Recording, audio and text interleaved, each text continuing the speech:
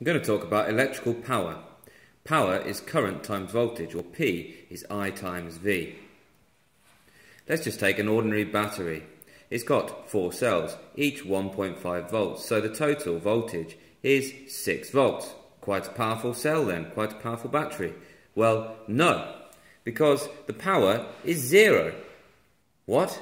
Well, the power is current times voltage, and there's no current flowing just yet, so the power is 0 times 6, which is 0.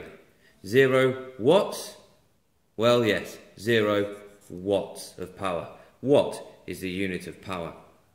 So I've got to plug it into something. Got to get a full loop going. I'm going to put a motor uh, connected to either end of this battery.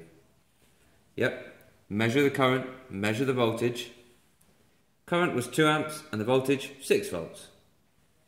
Now the power is 2 times 6, it is 12 watts. No, not that, 12 watts.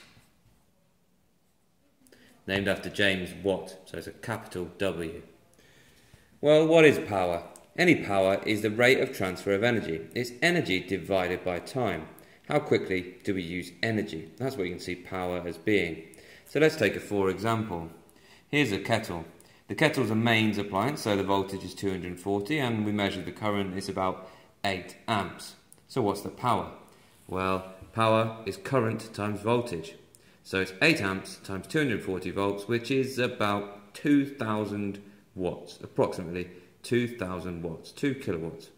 That means power is energy divided by time. That means it uses 2,000 joules per second. 2000 divided by 1 second, 2000 joules per second. It's a heating appliance, so it uses quite a lot of energy. It uses quite a lot of energy quite quickly. That's how we get heating. Well, unlike a TV, which is not a heating appliance, which, although it's a mains appliance, does not use a lot of energy in a little time, it uses energy less rapidly, so it's got a lower power. And your TV, even though it's quite a big appliance, it's only about 500 watts. But hang on a minute, you're going to leave it on for a lot longer time than your kettle, so you're going to be using a similar amount of energy overall.